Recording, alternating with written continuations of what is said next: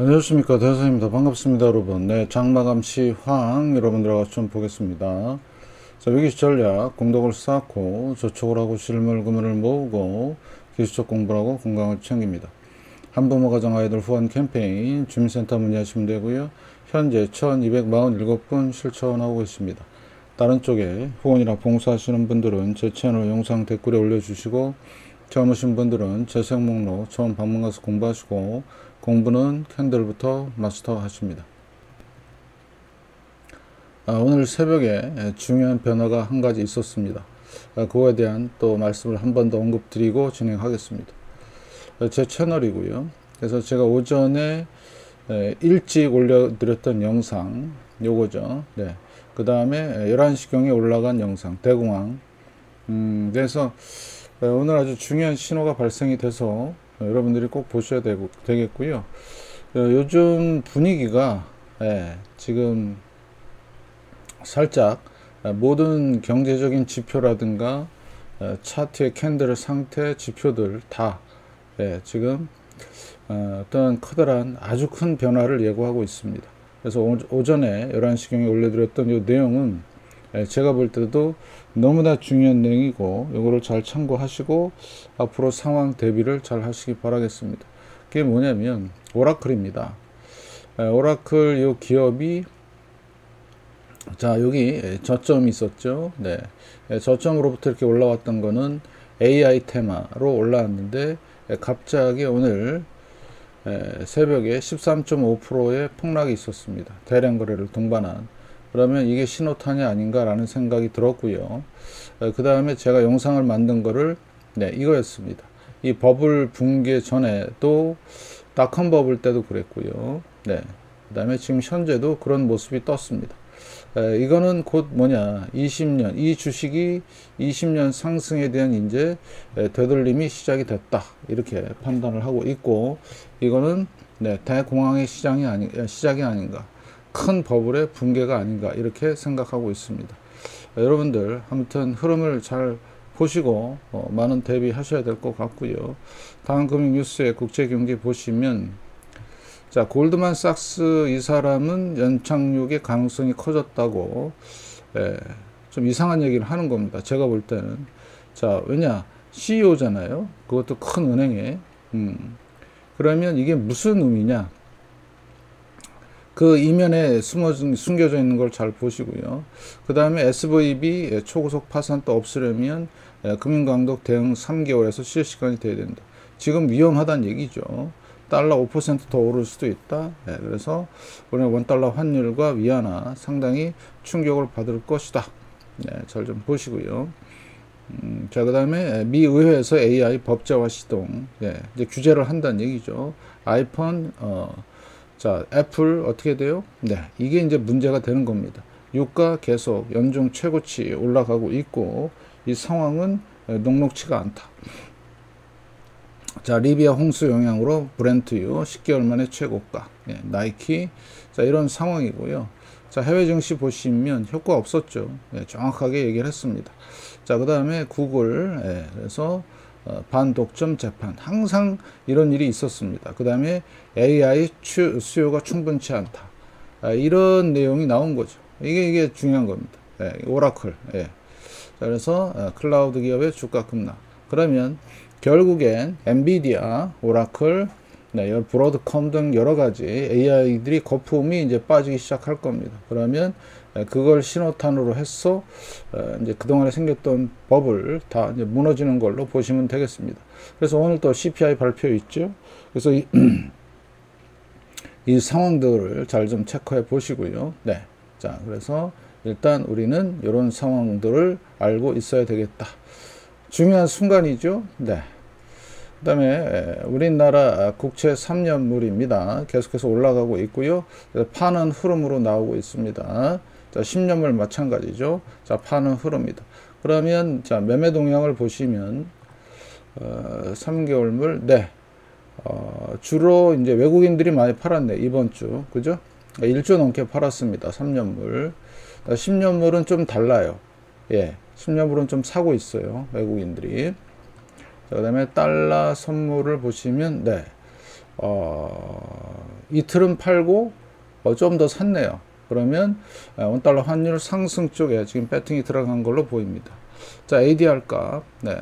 하락 종목수가 많죠. 상승 종목수보다. 심리는 계속해서 약하고.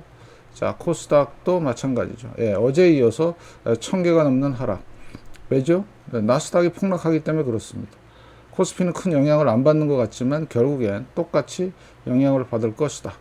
아, 잘 판단하시고. 자, 환율과 코스피죠. 네.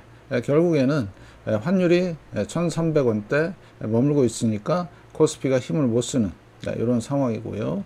자, 그 다음에 이건 빅스인데요. 빅스가 지금 현재 위치가 12.4. 여기 수직선으로 거어 있는 그 상황들이죠. 보시면. 자, 그러면 요거는 반등 고점에서 폭등을 했었고요. 폭락. 자, 폭등, 여기 폭락. 그죠? 올라가면서. 그죠? 그 다음에 여기도 그 근처에 있기 때문에 이제는 네, 빅스는 네, 여기가 바닥이다는 신호잖아요. 그러면 올라갈 수밖에 없다. 올라간다는 얘기는 뭐죠? 네, 주식시장이 폭락을 한다. 그래서 지금 이동 평균을 보시면 자 오늘 끝난 상황을 보면 자 falling 3 메서드 자 200주선 지금 저항 확실하죠? 예, 확실합니다. 예, 그래서 하락 3법이 지금 진행이 되고 있고요. 자 월봉에서도 그렇습니다. 똑같습니다. 하락 3법입니다. 자 작년 6월 달에 이 음봉에 고점을 못 넘는 하락 3법이 진행이 되고 있습니다. 그래서 이제 20개월과 60개월, 120개월, 200개월 여기 숫자들 꼭 기억을 하시고 이제 이게 얼마나 무너지는지 네, 상황 잘 보시고요. 특히 200개월 선. 네. 200개월 선의 붕괴 여부가 가장 중요하죠. 왜? 이게 지금 우리 역사상 코스피 역사상 지지의 역할을 했던 부분입니다. 근데 이번에는 예, 안타깝게도 붕괴될 것 같은 예, 그런 분석이 나오고 있습니다.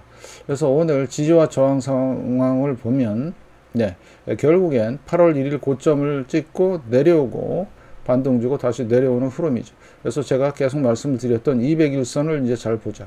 왜요? 자, 201선의 방향은 추세의 방향이고요. 추세의 방향은 네.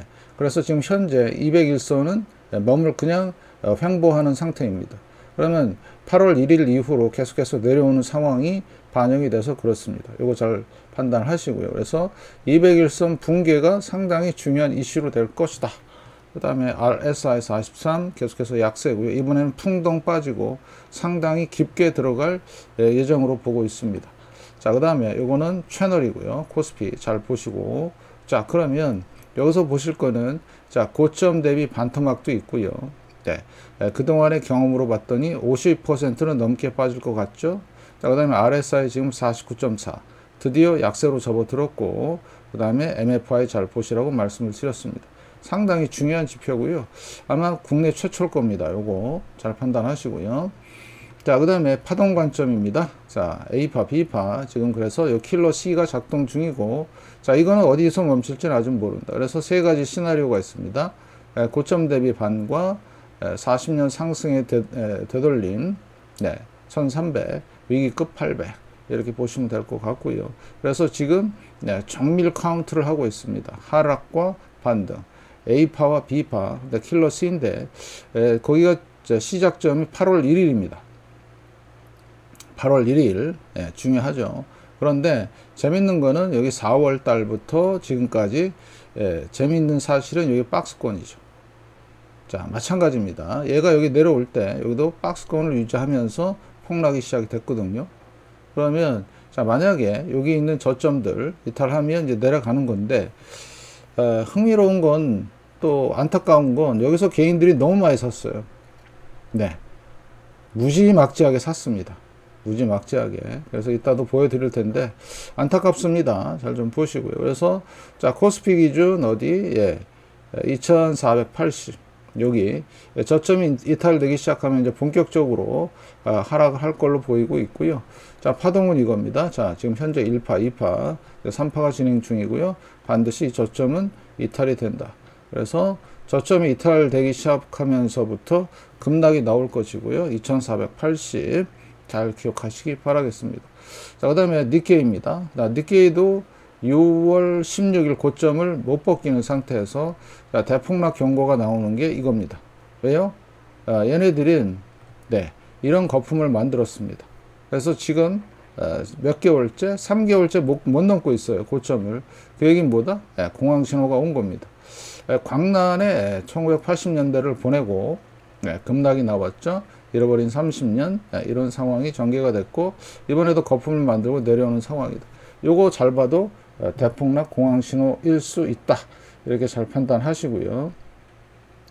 자, 원달러 환율 2원 20전 올랐죠. 1330원. 기준선 전환선 위에 구름대 위에 후행스팬 캔들 위에 상승 추세 이어가고 있습니다. 자, 급하게 올라갈 경우도 대비하시고 그러면 지금 환율은 죽지 않고 있다. 진짜 진짜 조심하자. 환율 올라가면 증시는 박살난다. 예. 개인이 좀 팔았고요. 외국인 좀 사고 기관도 좀 샀습니다. 외국인들은 선물로 어, 장을 살짝 떠받쳤고요. 상해 0.7, 항생 0.2, 미선물 시장 지금 약세입니다. 잘 보시고요. 투자 종합으로서 외국인들 진짜 조금 샀죠. 자, 추이를 보시면 어떻습니까? 예. 예 쥐꼬리만큼 샀습니다. 자, 코스닥은 계속 연속적으로 팔고요. 차이, 자, 비차이. 자, 차익 물량 같은 경우는 예, 단기간에 들어온 물량이라고 보시면 되겠고 어, 비차익도 좀 들어왔죠. 자, 선물, 자, 콜, 매수, 풋, 매수. 예, 근데 콜이 좀 더 많은 걸로 보이고요. 자, 이런 상황이다. 그래서 외국인들은 예, 코스피나 코스닥에서 관심 없습니다. 예, 그냥 매매 물량이 적어요. 어, 그래서 좀 기관 개인 왔다 와리가리만 하고 있고요. 자, 증시장고 융자장고 20조 4천 너무 많아요. 이거. 예. 10조 밑으로 가야 이제 바닥을 논할 수 있고요. 10조 정도 빠지면요. 한 1000포인트 정도 빠지는 겁니다. 잘 판단하시고. 자, 그 다음에 SK 하이닉스 1.54%. 오늘 이거 가지고 어, 시장을 어, 떠받친 겁니다. 그 대신 뭐로 팔았죠? 네. 에코프로입니다. 90만원대도 깨졌죠? 내려가는 거 보이시죠? 네. 그래서 제가 계속 말씀을 드렸던 부분이 바로 그런 겁니다. 자, SK 하이닉스 기준선 전환선 구름대. 자, 후행 스팬. 어, 지금 어딨냐면은, 자, 몸통 안에, 예, 여기 밑에 있네요. 자, 보시면 되겠고. 그래서 지금, 예, 반도체 지수, 반도체 이런 종목 가지고 지금 지수 장난치고 있어요. 외국인들이. 자, 삼성전자 보시면, 아, 여기서 에코프로 잠깐 좀 볼까요? 이렇습니다. 끝났어요. 이 종목은. 예. 제가 말씀을 드렸죠. 이런 패턴 뜨면 이거는 카카오 보셔도 되고 네이버 보셔도 되고 이런 패턴 뜨면요 이제는 네 어, 완전히 가는 걸로 생각하시면 됩니다. 안타깝죠? 예, 제가 요 패턴 뜨면서도 말씀을 드렸어요. 무조건 빠져나와야 된다. 이거는. 에, 뭐 물렸든 뭐 이익을 받든 빠져나오는 게 선, 어, 좋다. 그럼 결국엔 뭐냐? 9월 1일부터 다 빼기 시작한 거예요 세력들이. 네. 자, 이런 상황이라는 거 보시면 되겠고요. 자, 삼성전자 400원 올랐죠. 오늘 네. 투자자들 어, 기관하고 개인 싸움이었네요. 아까 SK 하이닉스가 안 보여드렸는데, 네, 마찬가지예요. 여기도 기관하고 개인 싸움. 지금 이런 상황이에요. 그래서 어, 지금 삼성전자가 뭐 이뻐서 이렇게 횡보하는 게 아니고 이걸 이용해서 지금 지수만 아, 코스피 지수만 살짝 머물게 하는 그런 상황이고요. 삼성전자 구름대 계속해서 머물고 있고 자 보십시오. 자 다시 말씀을 드릴게요. 지난달 네, 저점 2480 요거 붕괴되면요 급락이 나올 수도 있습니다. 다행히 이제 거래량 많이 안 터지고 있는데 잘 보십시오. 이거 그래서 여기 중심선과 그 다음에 하한선 붕괴가 되면 큰일 난다. 이렇게 판단하시고요. 자 기준선 전환선 밑에 후행스팬 캔들 밑에 자, 본격적인 하락 추세로 접어들었습니다. 코스피. 코스닥은 더해요. 오늘 1.7% 자, 구름대 이탈했고요. 후행스팬 급하게 내려오고 있습니다. 상당히 안 좋은 흐름. 음, 그러면 일단 코스닥이 먼저 좀 많이 빠지고 코스피도 곧 따라갈 걸로 보이고 있고 자, 옵션, 풋 외가 자, 외국인들 매도네요. 그 다음에 매수 매수 그 다음에 매도 매도 매수 양매도 치고 있습니다. 외국인들. 자, 푸콜 레이시오.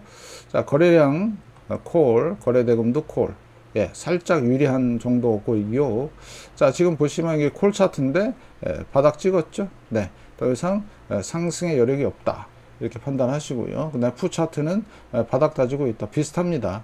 그래서 이제는 어, 내일이 이제 선물 옵션 동심 만기인데 네. 어떻게 이제 변할지가 저도 지금 되게 궁금합니다. 그 다음에 코덱스 레버리지 예, 결국에 힘을 못 받고 있고요. 자, 고바스는 이제 점점점 이제는 어, 상승으로의 전환이 될 가능성이 높아졌다. 왜요? 3파. 자, 1파, 2파. 자, 그 다음에 여기에 양봉 생겼죠? 양봉 저점 안 깨고 있죠? 이제 올라갈 일만 남은 겁니다. 예. 자, 제가 샀어요, 샀어요 이런 말을 안 드리죠. 각자 알아서 하는 겁니다.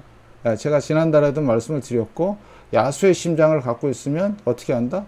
알아서 하면 됩니다. 제가 여기 8월 1일 고점, 네, 코스피 200 계속 못 넘고 있습니다. 못 넘고 있습니다. 자, 그러면 반등시 주식이 있으면 반등시 매도요. 자, 그러면 뭐 내가 short 포지션 들어가고 싶다? 네, 반등시 매수입니다. 이때도. 반등시 매도는 주식. 반등시 매수는 무슨 포지션? 쇼 포지션. 이때 못 샀으니까. 예? 맞죠? 그래서 그건 각자 알아서 들어가는 걸로 하고 특히 여기 200일선이고 잘 보시기 바라고요. 그 다음에 중요한 거. 자, MACD oscillator가 이제 죽고 있는데 벌써부터 기분이 딱 그렇죠? 나오고 있습니다. 예, 죽고 있어요. 예, 무슨 얘기냐? 그러면 앞으로 이게 길게 갈 것 같은데 어느 정도 가느냐? 제가 기준을 말씀을 드릴게요. 자, 마이너스 이상 풍덩 빠질 것 같습니다. 이번에. 왜? 추세가 하락 추세가 형성이 되기 때문에. 아시겠죠? 그리고 나서 이제 반등 들어오고 다시 또 내려가고. 자, 그래서 어, 디 흐름을 따른다? 이쪽 흐름. 네. 이거를 잘 판단하시고요. 자, 그 다음에 선물 상황도 그렇죠. 똑같습니다. 예, 그렇게 판단하시면 될 것 같고요. 자, 그 다음에 지금 네, 선물에서 연속 선물에서 지금 모여 있다고 그랬죠. 60일, 5일, 120일, 20일, 밑에 200일. 네. 그러면 지금 방향은 어, 8월 1일 고점에서 하락하고 살짝 반동 주고 내려오는 흐름. 음, 지표들도 하락. 그죠? 어, 그러면 내려갈 확률이 더 많아진 거죠. 그래서 여기 201선이 있는데 201선이 얼마예요? 200, 326. 요거 이제 붕괴되면 골로 가는 거예요. 그럼 현재 요 위치에 요 지금 현재 모습이 8월 1일부터 요 모습이 어디랑 똑같다고 계속 그래요. 여기랑 예, 여기 언제죠? 예. 재작년 7월, 재작년 8월 예, 그때하고 똑같네요. 2년 전하고 똑같습니다. 모양이. 아시겠죠? 그러면 앞으로 이만큼은 내려 내려간다고 보시면 돼요. 37%, 30% 넘게. 아시겠죠? 네, 그렇게 해서 여러분들이 파악하고 계시면 네, 이평선은 절대로 거짓말하지 않는다 보시면 될 것 같고요. 자, 이거는 달러 표시 어, 코스피입니다. 어때요? 하락, 반등, 내려오죠. 음. 그 다음에 MACD 오실레이터 계속 음의 영역. 자, 그래서 여기가 언제죠? 네, 8월 4일 주간 끝. 하락 시작. 자, 하락, 폭락, 반등 끝, 하락 시작. 어디서 멈출지 몰라요. 그거는 여러분들이 예, 계속해서 팔로우를 하셔야 되고 자 마지막으로 이걸 좀 보겠습니다. 자 투자자 포지션을 보시면 자, 어, 자 개인 같은 경우는 어, 자 8월 6일부터 아, 6월 8일부터 어, 8조 5,914억 예, 포지션 없고요. 8조 5천억 샀어요. 8조 5천억. 요, 요, 요, 요 근처에서 요만큼. 응? 8조 5천억. 대단하죠? 자, 왜 샀는지 모르겠어요. 그게 뭐 세뇌가 당한, 세뇌 당한 건지. 5조 2천억 기관은 상승. 자, 외국인 3조 9천억. 네, 하방 포지션. 자, 결국엔 누가 당한 거죠? 개인이 당한 겁니다. 네. 만약에 이 지수가 계속해서 내려가면 어떻게 어찌할 바를 모르는 거죠? 네. 손절을 하든가 빠져나와야 되는데 글쎄요. 그 판단은 각자 하는 거죠. 사고 파는 건 누구한테 맡길 수가 없습니다. 무려 8조가 넘게 개인들은 샀고요. 두 세력, 기관과 외국인은 팔았다. 그걸 정확하게 얘기해 주는 사람이 없어요. 저는 매일 얘기합니다. 이렇게 많이 샀고 이렇게 팔고 했다. 판단을 하시라. 예. 근데 지수는 자꾸 내려간다. 그러면 투자 판단은 어떻게 해요? 네. 알아서 책임지고 하는 겁니다. 아시겠죠? 근데 제 영상은 참고만 하시고요. 영상이 좋았다면 좋아요, 구독, 구독 알람, 광고 시청 꼭좀 부탁드리고 대공학 시작입니다. 준비 잘 하시기 바라겠습니다. 영상 봐주셔서 정말 감사드리고요. 건강하십시오.